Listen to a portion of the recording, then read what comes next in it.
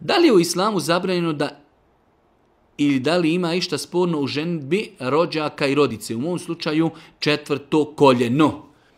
Mnogo puta smo mi govorili o ovim nekim sličnim pitanjima. E, kod nas postoji e, jedno veliko pravilo, ne smije se ženiti rodbina nikako, što je generalno gledajući neispravno.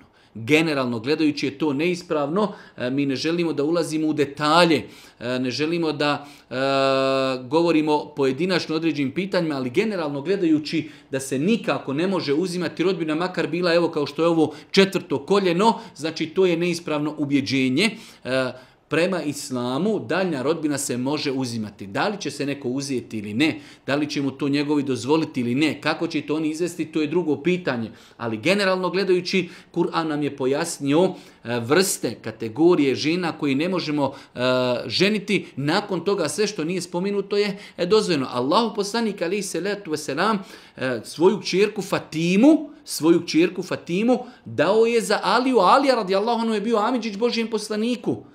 Mi imamo tu neko ubjeđenje, Arapi žene rodbinu i tako dalje. E, moramo paziti samo da ne uradimo nešto, da ne negiramo neki propis u islamu.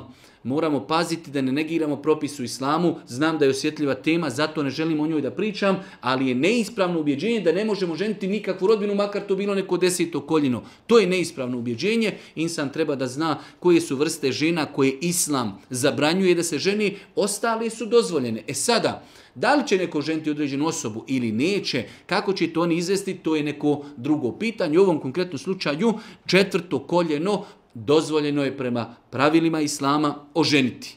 E sada, da li će se oženiti ili neće, kako će to prihvatiti njihova rodbina, njihovi roditelji, to je drugo pitanje.